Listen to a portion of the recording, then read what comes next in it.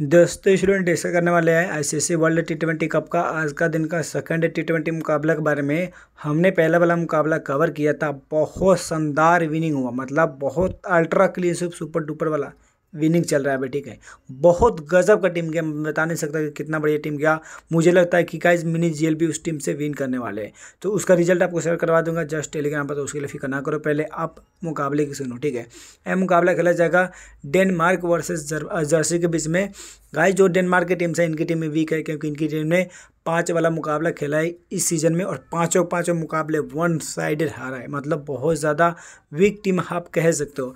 But जो जो सामने की टीम है ना वह जर्सी की टीम इनकी टीम ने वन साइडेड विन करा है। मतलब जर्सी की टीम में विन है और डेनमार्क की मतलब जर्सी की टीम स्ट्रॉन्ग है और डेनमार्क की टीम में वीक है, ठीक है।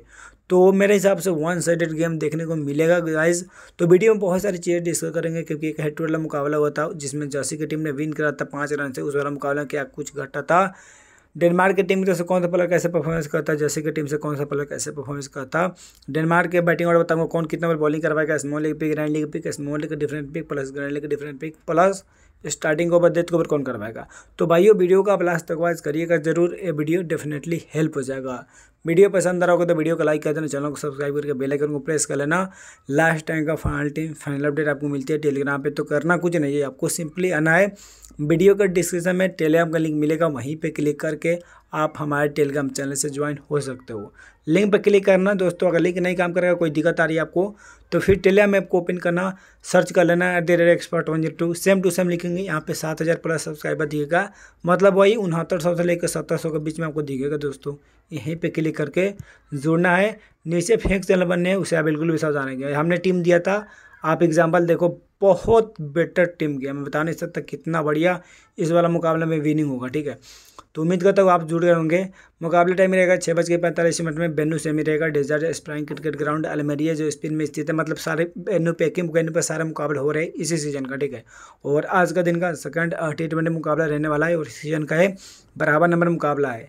गाइज़ अभी तक बेनू पे दस मुकाबला कंप्लीट हुआ है। बैटिंग फ़र्स्ट चार बैटिंग सेकेंड छः उतना इंपॉर्टेंस नहीं रहेगा बट यहाँ पे एक टीम वीक है और एक टीम स्ट्रॉन्ग है तो यहाँ पे टॉस का मैटर रहने वाला है भाइयों। तो इसलिए मैं बार बार बोल रहा हूँ कि आप टेलीग्राम पे चैनल पे ज्वाइन हो जाओ, ताकि मैं आपको बताऊँ लास्ट टाइम में क्या कुछ करना है तो आप चेंज कर पाओ, ठीक है? पहले बात करेंगे हेड टोटल मुकाबला की, जिसमें यहाँ पर देखोगे तो जर्सी की टीम ने पहले बैटिंग करी थी इनके दस विकेट गिरे थे बट डेनमार्क जो टीम तक आई, जिनकी टीम ने चेंज करनी आई, नवासी पे इनके नौ विकेट गिरे थे। नौ विकेट इसलिए गिरे थे क्योंकि एक रिटायर्ड हट हो गया था। मतलब छोट उठा गया था, बंदा को निकल गया था।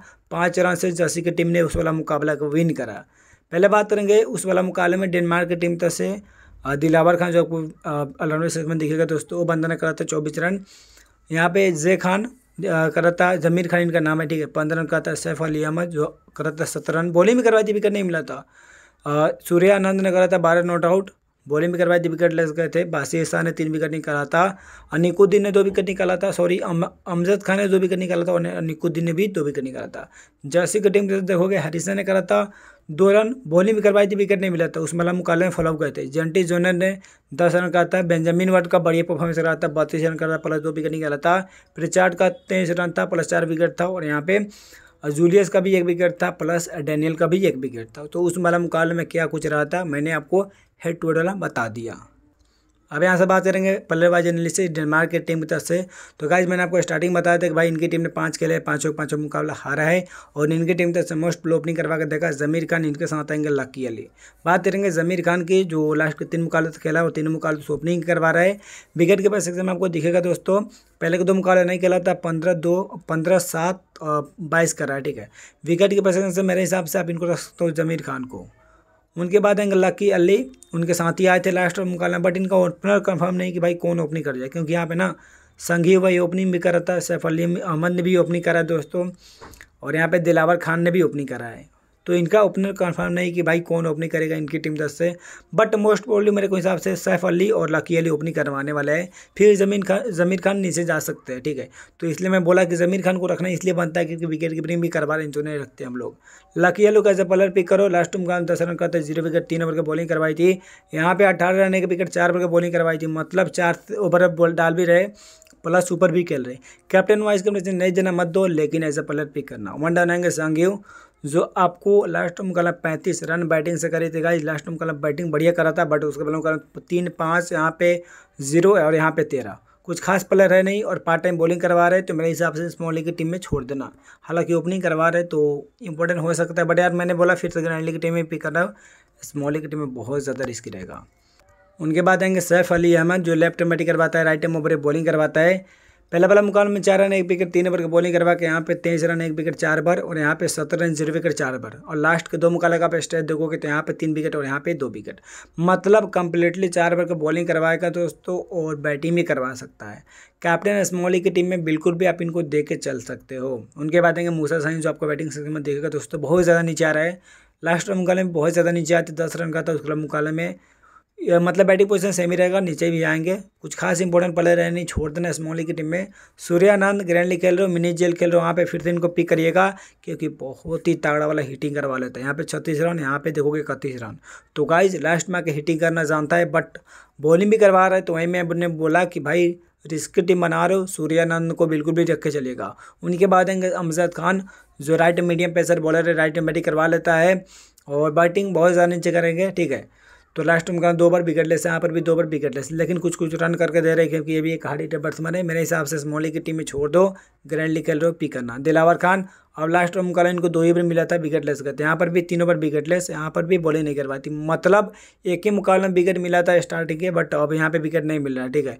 लेकिन ये चीज़ आप मत बोलना कि भाई पलर कैसा है। पलर बहुत ही ज़बरदस्त है पलर में कोई कमी नहीं है। मैं तो बोलूँगा, रखो आप। अगर इनसे भी बेटर आपको प्लेयर दिखे अलराउंडर सेक्शन में तब इनको छोड़ना, नहीं तो छोड़ना बहुत ज़्यादा रिस्क रहेगा दोस्तों। सरिकुला सफ़ी जो एक बार डाला था विकेट लेस गया था, उसके पास में कॉलम में देखोगे यहाँ पे बॉलिंग नहीं करवाती, सिर्फ़ फील्डिंग करवा रहे थे तो फील्डिंग ही करेंगे, छोड़ देना। बिलाल आफ्ताब अहमद, जो राइट में करवाता है राइट मीडिया फास्ट बॉलिंग करवा लेता है। लास्ट में कलम कम्प्लीटली दो ही ओवर डाला था, लेकिन एक विकेट लेकर गया था। और उसके बाद में एक रन का था बॉलिंग नहीं करवाई थी, छोड़ेंगे दोस्तों। इनका पोडिया का स्टेट देखोगे रिसेंट का। तो दस मैच का नौ इनिंग में नौ विकेट था, बैटिंग से एक सौ छियालीस रन था। तो उतना इंपॉर्टेंस नहीं है, छोड़ सकते हो। अब शाहरुख खान को भी छोड़िएगा, एक ओवर की बॉलिंग करवाएगा एक विकेट निकाला था। देखो, आपने इस टीम से ना यहाँ से जमीर खान को विकेट के वजह रख सकते हो। लकी अली को तो मैं रखूँगा रखूँगा, इनको छोड़ूँगा, सैफ अली अहमद को रखूँगा। सूर्यानंद को ग्रैंड की टीम में पिक करेंगे। अमजद को भी ग्रैंड की टीम में, दिलावर खान को रखूँगा। यहाँ से सभी को छोड़ने वाले हैं। स्टार्टिंग ओवर सैफ अली अहमद, लकी अली डाले थे मतलब सैफ अली अहमद दो बार दो बार डालते लकी अली ने। डेथ में सैफ अली अहमद, दिलावर खान और बिलाल आफ्ताब ने एक बार डाला था।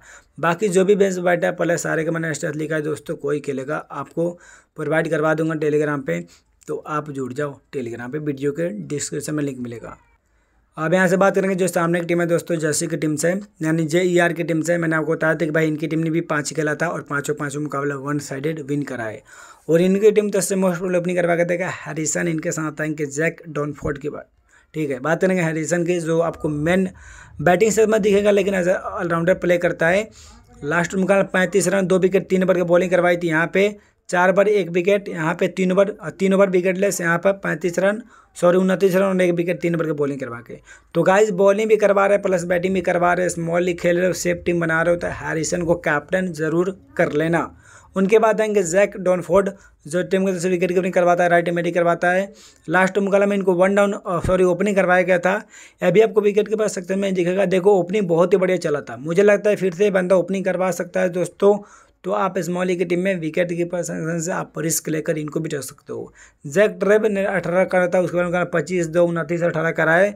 मतलब एवरेज परफॉर्म दिया है तो मेरे हिसाब से उतना इंपॉर्टेंस नहीं रहेगा।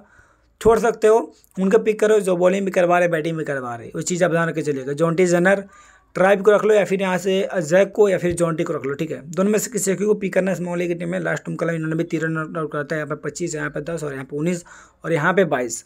उतना इंपॉर्टेंट नहीं रहेगा। दोनों में से मैंने बोला कि किसी को भी पिक कर सकते हो। डोमिनिक ने एक ओवर की बॉलिंग करवाई थी विकेट लेस गया था बट उसके उनका अच्छा खासा बॉलिंग करवा रहे थे। टीम इनके अच्छा खासा है, सामने की टीम वीक है तो विकेट ले सकता है दोस्तों, आप रख के चलिएगा।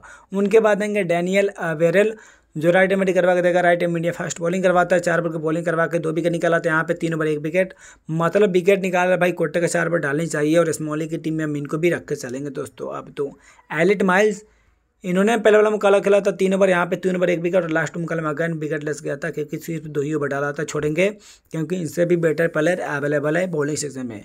उनके बाद आएँगे कार्लस प्रिचार्ड जो राइट मीडियम बात लेता है right and medium pacer bowler है लास्ट मुकाबला में विकेट लेस गया था, लेकिन उसके पहले उनका दो विकेट यहाँ पे तेईस रन चार विकेट, दो विकेट और दो विकेट। ग्रैंडली खेल रहे हो, मिनी जेल खेल रहे हो, यहाँ पर कैप्टन करिएगा स्मॉली की टीम ऐसे प्लेयर रखना। क्यों बोल रहा हूँ कैप्टन करने के लिए? क्योंकि सामने की टीम में वीक है, उनका जल्दी ज़्यादा विकेट गिरेगा दोस्तों। तो उस कंडीशन में बंदा तीन से चार विकेट ले सकता है, फिर आपको अच्छा खासा विनिंग करवाएगा। तो बात को सुना करो आप, ठीक है? उनके बाद आएँगे जूलियस और जो राइट मीडिया करवा लेता है राइट मीडिया फ़र्स्ट बॉलिंग करवाता है, तीन ओवर की बॉलिंग करवा के दो विकेट यहाँ पर भी देखोगे एक ओवर एक विकेट और यहाँ पे दो ही ओवर बॉलिंग करवाई थी, लेकिन विकेट लेकर गया था।